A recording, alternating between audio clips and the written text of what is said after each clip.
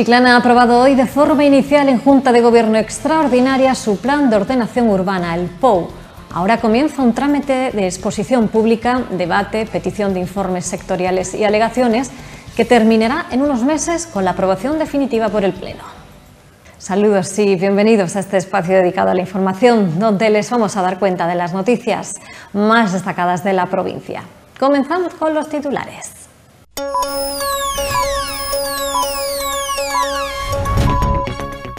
Chiclana ha aprobado hoy de forma inicial en Junta de Gobierno Extraordinaria su plan de ordenación urbana, el POU. Ahora comienza un trámite que terminará en unos meses con la aprobación definitiva por el Pleno. Los conductores de autobús han secundado este lunes una huelga en la provincia de Cádiz y en todo el territorio español. La principal lucha está en los coeficientes para reducir la edad de jubilación por la penosidad y peligrosidad de la profesión. El Ayuntamiento de Chiclana ha adquirido el edificio junto a la Vox para la creación de un centro de formación. El alcalde ha firmado ante notario la compra de la nave anexa a Luf Digital, que se convertirá en un espacio de referencia para la formación en Chiclana.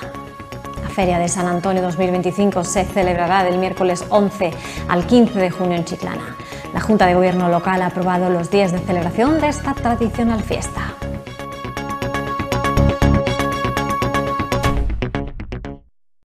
Pues como les decíamos, eh, Chiclana ha aprobado hoy de forma inicial en Junta de Gobierno extraordinaria su plan de ordenación urbana, el POU. Ahora comienza un trámite de exposición pública, debate, petición de informes sectoriales y alegaciones que terminará en unos meses con la aprobación definitiva por el Pleno. La Junta de Gobierno local ha aprobado esta mañana de manera inicial el nuevo Plan de Ordenación Urbana de Chiclana, un documento que regirá el suelo urbano de la ciudad en los próximos años. Así lo ha anunciado el alcalde José María Román, quien ha comparecido en rueda de prensa junto al delegado de urbanismo Rodolfo Pérez. El plan de ordenación urbana está compuesto por los documentos de información escrita y cartográfica, así como por la memoria de participación ciudadana, la memoria de ordenación y la memoria económica. Además cuenta con la normativa y ordenanza escrita y gráfica y el catálogo de protección de los edificios y la arqueología correspondiente al ámbito de la ciudad. También cuenta con tres anexos, que son el impacto de la salud, el plan de descontaminación visual y el informe de suficiencia hídrica. Por su parte, el estudio ambiental estratégico consta de memoria de planos, del estudio acústico, del estudio de cambio climático y de información con respecto a las vías pecuarias. Este documento traerá consigo un nuevo programa de vivienda en Chiclana, puesto que permitirá la ejecución de entre 6.000 y 7.000 viviendas a lo largo de los suelos urbanos del término municipal, de las que en torno a unas 2.000 se podrán construir en suelo municipal. En cuanto a la totalidad del suelo urbano, indicar que este es de 2.140 hectáreas, de las que 1.930 vienen de las normas subsidiarias, 84 de incorporación de anteriores figuras de planteamiento que se incorporan al documento y 126 de suelos aptos para regularizar. Asimismo, aparece un nuevo suelo industrial de 442.000 metros cuadrados, a lo que habrá que sumar en el Plan General de Ordenación Urbana los suelos de Mira el Río, pendiente de su desarrollo por parte de la Junta de Andalucía. Lo que hace la, la ciudad es crecer sobre su propio suelo. Trabaja para avanzar en una ciudad más compacta y en donde, eh, además de más compacta, habla de números interesantes de cara a la sostenibilidad.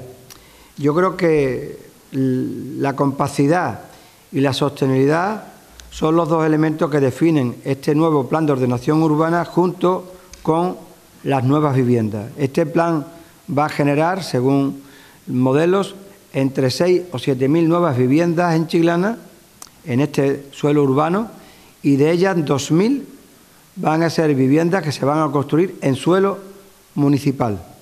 Esto antes nunca había ocurrido. Ha habido un esfuerzo del Gobierno municipal para disponer de suelo en donde pudiera existir vivienda pública, vivienda en suelo municipal. De estas 2.000 viviendas, un 60% serán viviendas protegidas, con algunas de las figuras de protección oficial. Por consiguiente, hay un paso muy importante en materia de vivienda y en materia de sostenibilidad también, porque no hay que olvidar que en materia de sostenibilidad vamos a tener una ratio de zona verde que va a ser cuatro veces superior, cuatro veces superior a la de que marca la norma. Vamos a estar en 23 metros cuadrados de espacio libre por habitante, que es cuatro veces o perdón, tres veces el valor mínimo, mínimo exigido. Bien, si, si entramos un poco en detalle, podemos decir que el suelo urbano total del POU son 2.140 hectáreas, de las que en 1930 vienen de las normas subsidiarias, 84 hectáreas de incorporación de anteriores figuras de planeamiento que se incorpora a este documento y 126 de suelo 126 hectáreas de suelos aptos para eh, regularizar fundamentalmente en la zona de eh, Coto la Campa, trasera Coto la Campa, Las Quintas y también en la zona de Majadilla en la, en la banda. Digo que fundamentalmente. Una vez aprobado inicialmente el plan de ordenación urbana, además de colgarse en el portal de transparencia del ayuntamiento y en la web municipal, se publicará en los boletines oficiales. Estará en exposición pública 45 días a contar desde la última publicación en los respectivos boletines, un tiempo que permitirá a la ciudadanía realizar las alegaciones que considere oportunas.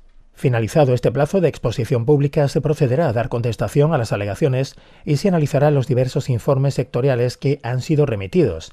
Además, se procederá a la redacción del documento definitivo del plan, así como a la redacción del estudio. Es nuestra intención llevarlo a pleno municipal y va a este pleno. La oposición nos pidió que fuese al siguiente para ellos tener más tiempo, lo cual no quita, y aunque sea un dar cuenta porque no tiene competencia para aprobarla, se permitirá el debate para que los grupos manifiesten su posición. También tengo que decir que esto se ha producido después de una reunión de la Comisión de Seguimiento, en donde están todos los grupos municipales y, por tanto, cumpliendo estrictamente, que además Rodolfo ha tenido una parte importante en todo ello, con los consejos sectoriales que se han convocado al respecto. A partir de ahora, en cuanto se publique el anuncio en los distintos boletines, correrá un plazo de 45 días hábiles, esto nos llegará prácticamente a Navidades y estaremos pidiendo los informes sectoriales. Los informes sectoriales que son fundamentalmente de la Junta de Andalucía, costa, carretera, fundamentalmente casi todos son de, de la Junta, ¿no? de esa y tal. En definitiva, con estos informes sectoriales podemos ya configurar, y lógicamente con el periodo de las alegaciones y la respuesta a estas alegaciones, podremos configurar la aprobación, el documento de aprobación definitiva que lo aprueba el Pleno Municipal, que no la aprueba como lo aprobaba antes el Consejo de Gobierno de la Junta de Andalucía, por eso cuando la gente dice eh, que el plan se ha anulado al Ayuntamiento de Chiclana, al Ayuntamiento de Chiclana nunca se le ha anulado ningún planeamiento porque el planeamiento, la competencia lo tenía la Junta de Andalucía. Ahora sí lo aprueba el Ayuntamiento de Chilana. Los conductores de autobús han secundado este lunes una huelga en la provincia y en todo el territorio español. La principal lucha está en los coeficientes para reducir la edad de jubilación por la penosidad y peligrosidad de la profesión. Se trata del primero de los paros programados de aquí a final de año. Los autobuses urbanos e interurbanos de Chiclana, al igual que los de toda España, han protagonizado hoy lunes 28 de octubre una jornada de huelga que se repetirá hasta el final de año con diferentes paros anunciados para los días 11, 28 y 29 de noviembre y 5 y 9 de diciembre, y que tendría carácter indefinido a partir del 23 de diciembre si no se llega antes a un acuerdo. En, noviembre he previsto tres días, en diciembre volvemos con las reivindicaciones y si no, a partir del 23 sería indefinida, que esperemos que, no tenga que llegar, sobre todo para, hombre, para los, usuarios que se, ven se ven un poquito molestos con, la falta de, de los horarios que existen normalmente. Durante la jornada de hoy, así como las siguientes, Todas las líneas de los servicios urbanos e interurbanos han sufrido recortes, aunque se han establecido unos servicios mínimos. Servicios mínimos que a nuestro entender son un poquito abusivos, porque el 50% para nosotros entendemos que es abusivo, pero bueno, ya las distintas federaciones entiendo que, que lo denunciarán o intentarán de negociarlo de otra forma. Entre otras cuestiones, los trabajadores reclaman jornadas laborales menos intensas y la jubilación anticipada a los 60 años. Pues básicamente pues que se nos apliquen los coeficientes reductores para poder acceder a la jubilación a los 60 años. Eh, estos coeficientes reductores existen por ley. Lo que pasa es que el gobierno del tipo que haya sido, pues nos han hecho caso omiso hasta ahora. ¿Qué tipo de negociaciones habéis tenido hasta ahora? Bueno, las negociaciones lo llevan los sindicatos mayoritarios, UGT y comisiones en nuestro caso, directamente con, ahora mismo con la patronal, que es la que tiene que, ayudar en cierto sentido. Sí, porque tengo escuchado en la televisión y en los medios de, la radio eso que, que, se, que se haría eso. ¿Sabes los motivos de esta huelga? El motivo es porque los, digamos, los trabajadores, los conductores piden una, una de estos anticipada, una, una jubilación anticipada que se lo merece porque es que una carretera con un hombre ya mayor, con decir la vista, que si eso es muy peligroso y muy, muy doloroso también. De momento se ha iniciado hoy la huelga, pero hay días posteriores que pueden continuar. Hacer arreglar a todo bien para que nadie tuviera problemas, ni el trasajuste, ni el, ni el trabajador, ni la empresa, pero todo tiene que poner un, poquito de grado de la arena. ¿Conoce usted los motivos de la huelga de autobuses? No, los conozco, los desconocía, que iba a afectar la huelga aquí en Chiclana. Pero vamos, que es una gracia porque ahora servicio mínimo, ahora te voy al hospital y la mañana entera, porque ya la próxima guagua es a la una y media. Entonces, un problema. De momento afecta en el día de hoy, pero está previsto que pueda continuar en el siguiente mes. Pues sí, no es problema para mí, porque yo me muevo mucho en autobuses, entonces es un problema. Pero vamos, habrá que, a ver, yo sé, condicionarse con lo que sea, con lo que venga. No me esperaba que hoy hubiera huelga, pero bueno, ¿qué se le va a hacer? Hay que estar aquí preparado para lo que venga, porque aquí en lo que es la parada siempre te encuentras algo nuevo. Si no es la huelga, es un retraso, en fin, hay que estar aquí a lo que venga y, nada, a esperar. ¿Usted ha llegado, se ha encontrado que hay huelga de autobuses? ¿Se lo esperaba?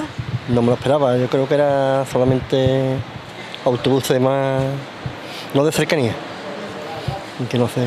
¿Sabe los motivos por los que están realizando esta huelga? No lo sé, no sé ni los motivos ni nada. No sé de qué va la huelga. Toca esperar entonces, ¿no? Hombre, esperar a ver lo que dicen las noticias, ¿no? ¿De qué va? No, no conocía. ¿Sabes los motivos? No. Están anticipando, bueno, están queriendo anticipar la jubilación en el sector. ¿Te parece bien? La verdad que sí.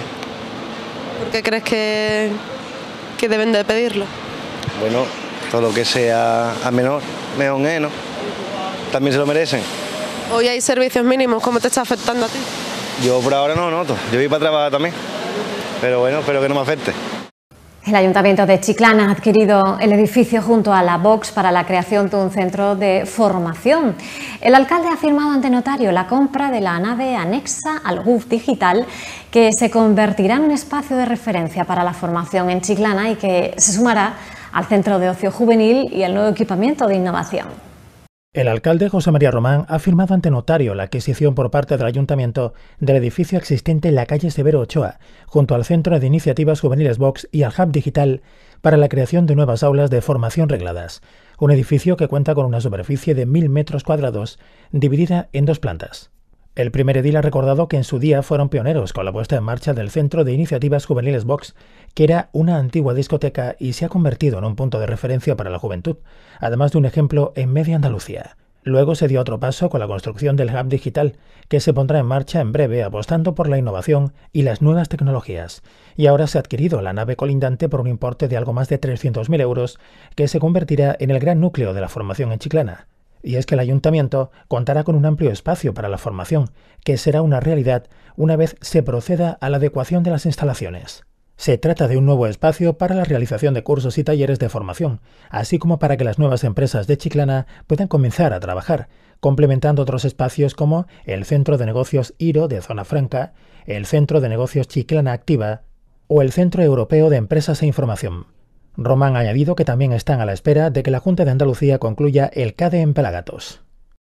El Hotel Valentín Santipetri ha acogido la jornada de formación multidisciplinar en materia de violencia de género enmarcada en el Pacto de Estado. Se trata de una de las actividades que se desarrollarán con motivo del 25N. La inauguración ha tenido lugar a las 10 de la mañana y la primera conferencia ha sido Comprender lo incomprensible, claves para entender la violencia contra las mujeres con gran éxito de participación. El alcalde José María Román ha inaugurado esta mañana la jornada de formación multidisciplinar en materia de violencia de género, que se celebra durante toda la mañana en el Hotel Valentín Santipetri. Una actividad que ha contado con un importante número de mujeres y que se enmarca en el Pacto de Estado contra la Violencia de Género, dando así inicio a las actividades con motivo del 25N. El 25 de noviembre es la jornada contra la violencia de género, pero nosotros lo que hacemos es esa jornada extenderla y además es especialmente importante ser consciente de la necesidad de estar llamando, informando y formando eh, continuamente sobre una lacra que es, la violencia de género, ¿no? la violencia contra las mujeres y que hay que decirlo claro y alto porque mm, no, dejamos de sorprendernos día tras día de las cosas que suceden y por eso hablar de la formación multidisciplinar por encima de, cada segmento para trasladar a toda la sociedad, a toda la sociedad algo que durante muchos años ha estado oculto, se ha padecido, se ha padecido en del local para, para adentro y que hoy afortunadamente cada vez son más las mujeres que, se atreven y dan el paso. Y para ello hay también distintas oficinas de la Administración como lo que tenemos en Chiclana desde hace ya muchísimos años, desde más de 30 años, y todas las administraciones volcándose a pesar de que estamos en tiempos que no son fáciles porque ¿quién, quién iba a creer que en estos tiempos iban a aparecer formaciones políticas que iban a negar la violencia de género, la violencia contra las mujeres y que iban a ponerles eufemismos para mm, ocultar una realidad, ¿no?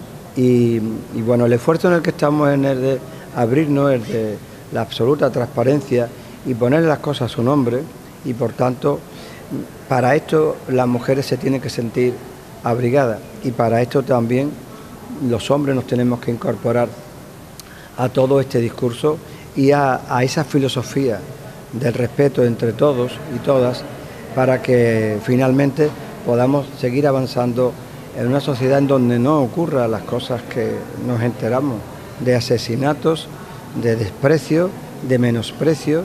Asimismo, el regidor chiclanero ha destacado que todas las administraciones se han volcado por esta causa, a pesar de estar en unos momentos nada fáciles, sobre todo por la aparición de formaciones políticas que niegan la violencia contra las mujeres y que ponen eufemismos para ocultar esta realidad.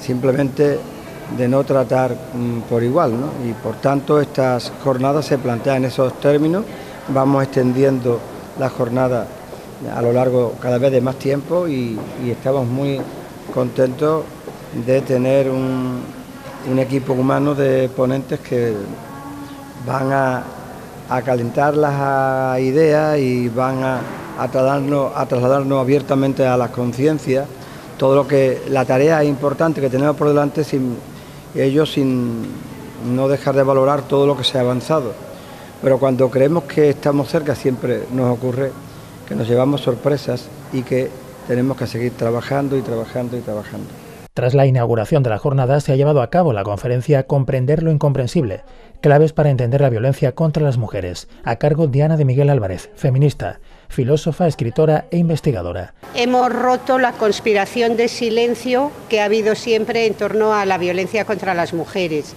violencia de puertas adentro, violencia de puertas afuera. Eh, creo que estamos en el nivel este de haber roto la conspiración de silencio y condenar, como él ha dicho, la lacra, la lacra de la violencia.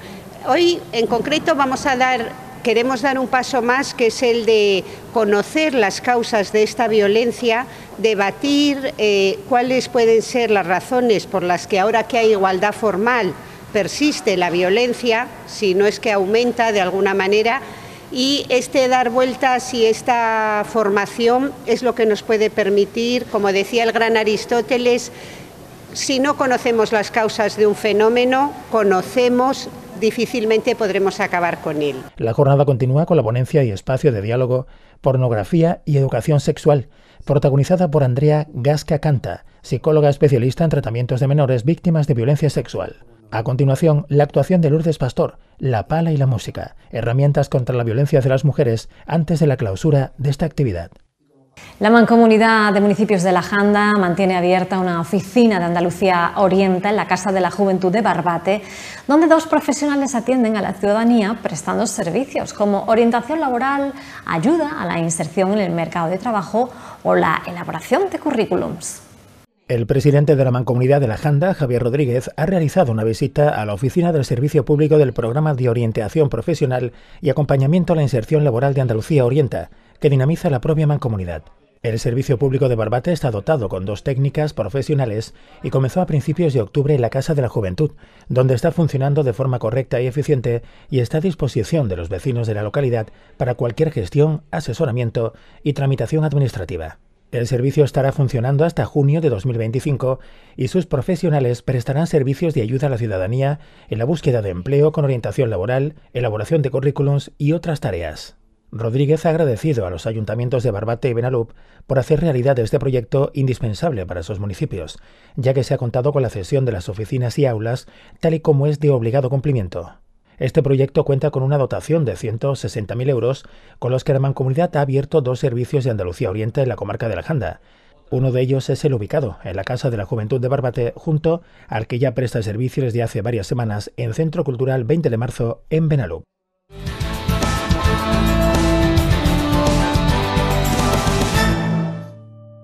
El Partido Popular ha anunciado la presentación de dos nuevas enmiendas para el próximo Pleno Municipal. La primera enmienda destaca la necesidad de mejorar la financiación de la educación en toda Andalucía y de manera especial a Chiclana. La presidenta popular ha señalado las, a su juicio, desigualdades que, a resultas del nuevo acuerdo de financiación de Cataluña, cada chiclanero recibiría 214 euros menos que un catalán, lo que para un municipio como Chiclana con más de 90.000 habitantes supone casi 20 millones de euros al año que se podrían destinar a inversiones en educación, sanidad, dependencia, vivienda e infraestructuras, como es el caso de la Cañada de los Barrancos. La segunda enmienda presentada por el Partido Popular de Chiclana ha solicitado aumentar la financiación central para proyectos de infraestructura local, como el desarrollo de la Cañada de los Barrancos.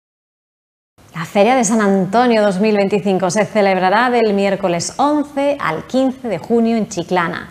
La Junta de Gobierno local ha aprobado los días de celebración de esta tradicional fiesta, mientras que el Pleno aprobó meses atrás que el día festivo será el viernes 13, día de San Antonio.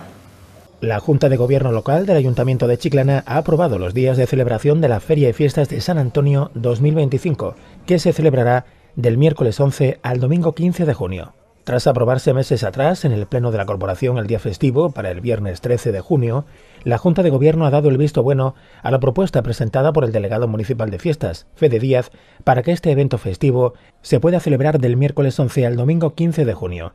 Según ha comentado el propio Fede Díaz, aunque aún restan ocho meses para la celebración de la próxima Feria de San Antonio, ya se trabaja de cara a la organización de una de las fiestas más importantes de Chiclana. Asimismo, previo a la aprobación de los días de feria en Junta de Gobierno local, el responsable de fiestas ha trasladado esta propuesta a los distintos sectores implicados, es decir, feriantes, caseteros, empresarios, hosteleros y comerciantes, que la han acogido de forma positiva. Díaz ha afirmado que están volcados en la organización de eventos a corto y medio plazo como Halloween, Tos Santos y Navidad, así como empezando a trabajar de cara al Carnaval 2025, pero también se está comenzando a preparar la próxima Feria de San Antonio que se celebrará en su fecha tradicional. Los mercados municipales de la capital han celebrado este lunes Tos Santos con el concurso de exornos y actividades infantiles. Este año han participado 34 puestos, 22 correspondientes al mercado central y 12 al mercado Virgen del Rosario. Los mercados municipales de Cádiz han vivido hoy su día grande con la celebración de la festividad de Tos Santos. El ayuntamiento, junto a la Asociación de Letallistas de los Mercados Municipales, ASODEMER, han festejado por todo lo alto esta tradición de la ciudad en torno al Mercado Central y al Mercado Virgen del Rosario. El tradicional concurso de exornos de los puestos ha contado con 34 participantes. Del total de participantes de esta edición, 22 corresponden al Mercado Central y 12 al Mercado Virgen del Rosario. De estos cinco se presentan en la modalidad de carnes, seis en frutas, 14 en pescados y nueve en varios. Como novedad, este año se va a instalar un stand tanto en el Mercado Central como en el del Rosario, con dos personajes de animación que se encargarán de entregar a los niños gratuitamente mil bolsas con dos piezas de fruta en cada mercado. Les hablamos ahora de las previsiones del tiempo para mañana martes. En Chiclana con cielos que permanecerán cubiertos con tormenta y temperaturas que oscilarán entre los 13 y los 20 grados de máxima, según ha informado la Agencia Estatal de Meteorología.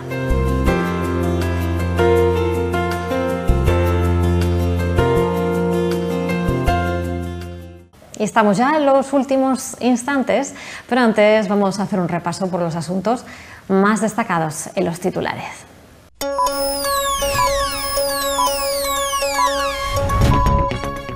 Chiclana ha aprobado hoy de forma inicial en Junta de Gobierno Extraordinaria su plan de ordenación urbana, el POU.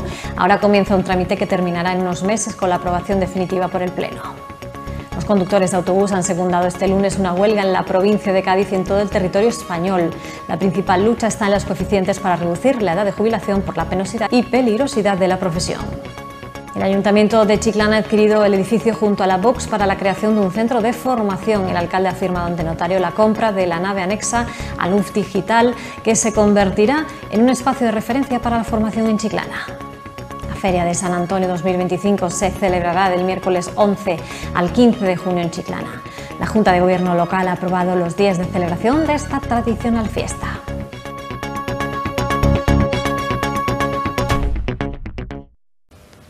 Aquí este recorrido por la actualidad de la provincia.